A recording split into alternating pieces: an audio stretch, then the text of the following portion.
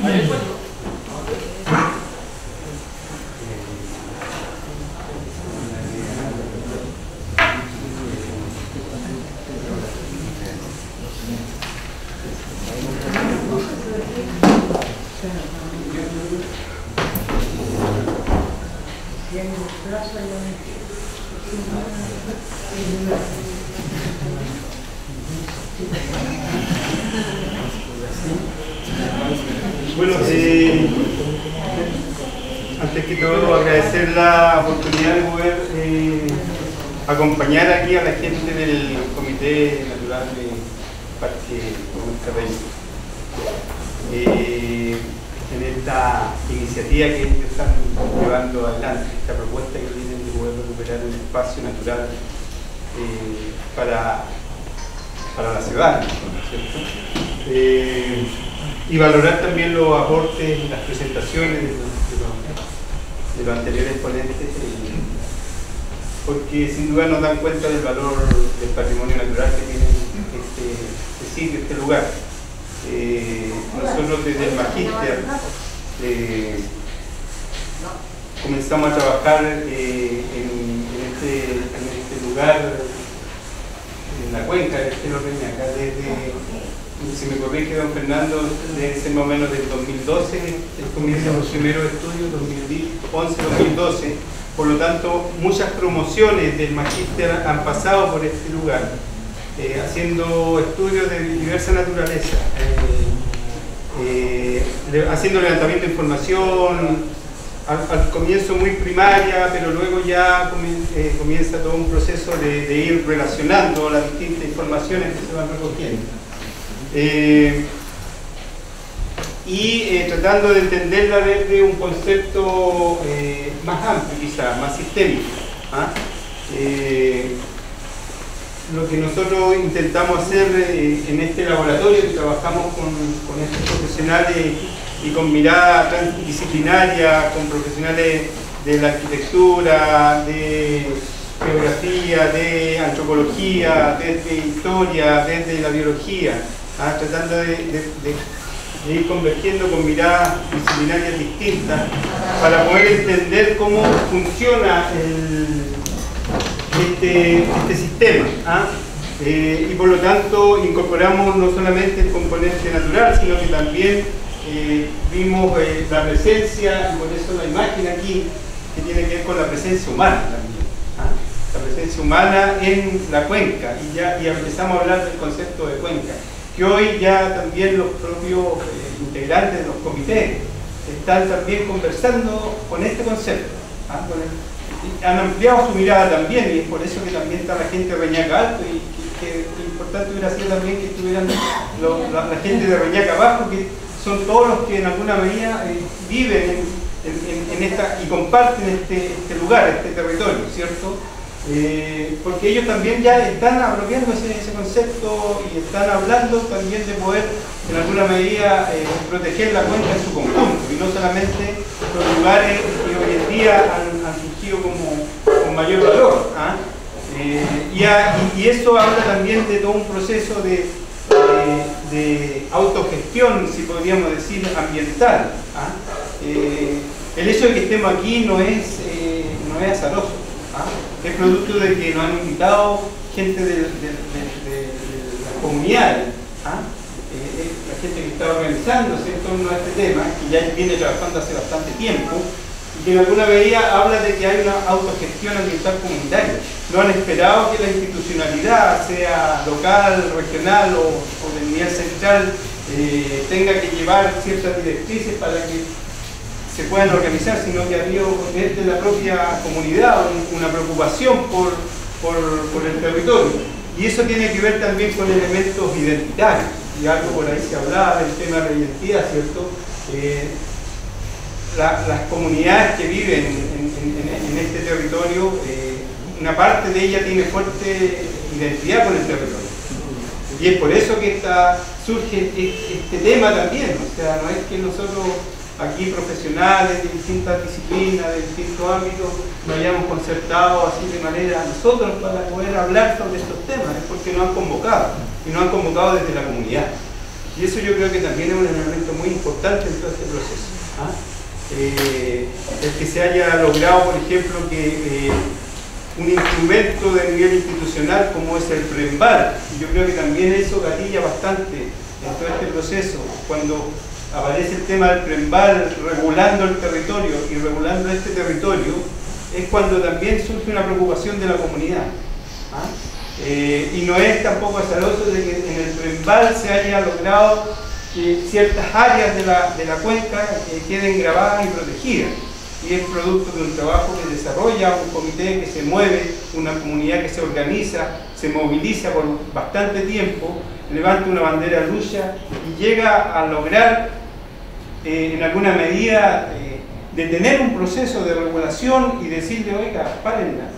Nosotros también tenemos una voz que decir, también tenemos una propuesta y queremos que eso se incorpore. Lamentablemente Gómez Carreño quizás llegó un poco atrasado en ese proceso, porque si hubiera sido quizás un poquito antes, casi al tiempo como lo estaba haciendo Reñacanto, a lo mejor no, estaríamos con tanta, con tanta necesidad hoy en día de poder proteger el, el, espacio que hoy en día está en discusión, que es el tema de, del parque en, a la altura de Gómez.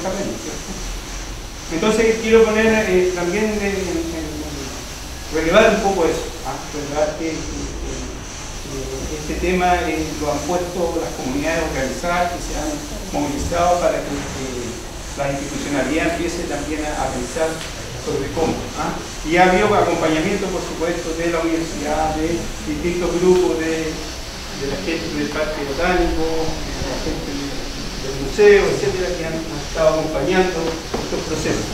Yo voy a, hacer, a tratar de ser rápido en este tema, porque esto fue una presentación que hicimos en el marco del del, del como resultado de un laboratorio, fuimos viendo distintos aspectos geomorfológicos, paisajísticos, eh, todo el componente florofaunístico de, la, de la cuenca, eh, tratando de hacer un análisis para poder llegar a una propuesta final de, manejo de, la cuenca del estero. Clasificación de suelo, hidrografía, las unidades ambientales de vegetación, eh, todo eso graficado, en, georreferenciado en el mapa. ¿ah? Eh, las amenazas, bueno, ya comentaba eh, el señor Brito respecto de este tema todo lo que es la hidrografía misma, las áreas de importancia, el patrimonio natural que ya aparecía, que referenciado con los distintos lugares donde existe un fuerte valor natural, ¿cierto?, de patrimonio natural, eh, la potencialidad ambiental, la infraestructura verde. fueron distintos tipos de análisis y de levantamiento de información, todo aprovechando los estudios previos que también se habían realizado. ¿ah? Y también entramos en todo lo que es el tema de la institucionalidad que está asociado a la cuenca del estero Reñaca, lo que llamamos ahí como el CERO.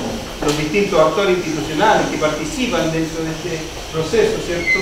Que tienen algo que decir con respecto a, además, los distintos instrumentos que van apareciendo. El plan regulador, el TADECO, la Estrategia Regional de Desarrollo, las unidades territoriales y ya ahí comenzamos a entrar en, lo que es el tema, el componente eh, social, ¿cierto? Respecto de, las comunidades mismas, los distintos sectores, los barrios que, forman parte de la cuenca, eh, para poder hacer un análisis también multivariado respecto de, las características de las poblaciones que, habitan, la población humana, estamos hablando, que habitan en la cuenca y que en alguna medida eh, tienen bastante que, decir y, son un factor de, importante en, lo que pueda ocurrir dentro de la cuenca del estero El análisis sociológico, aquí comenzamos a hacer eh, distintos análisis multivariados con distintas variables respecto de, tipo sociodemográfico para poder ir caracterizando algunas eh, unidades también en relación con esto distintos eh, indicadores, variables socioeconómicas, etcétera, para llegar finalmente a esta suerte como de agrupamiento de, unidades socioespaciales, si podría decir, con cuatro a lo menos grandes grupos, eh, con un sector. Y aquí eh, eh, eh, aparece como el tema ya de la estratificación socioeconómica de la población que vive en, Reñaca, con el sector bajo, Jardín del Mar, Reñaca Bajo, Los Almendros, que son como, en términos socioeconómicos, son los sectores altos, los sectores medios de Gómez Carreño, Mirador de Reñaca, los sectores con, menos recursos como Expresos Viña, Gloria Navales, Reñaca Alto, y bueno, en el área quizás la, la, única área que está quedando rural dentro de la comuna, ¿cierto? Es lo que está en la parte alta de, la cuenca del Estero. Aquí, ahí todavía uno ve las parcelas, ve gente que todavía vive de la tierra, etc. ¿ah? Eh, también hacemos todo un proceso de recuperación, de reconstrucción de, histórica del poblamiento en la cuenca.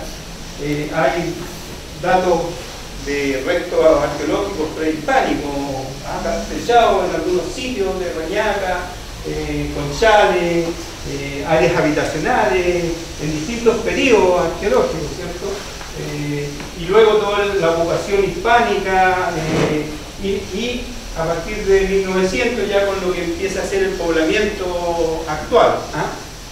con el plano loteo de Reñaca Abajo, en 1912, con ya con una ocupación más, más permanente del área. ¿ah?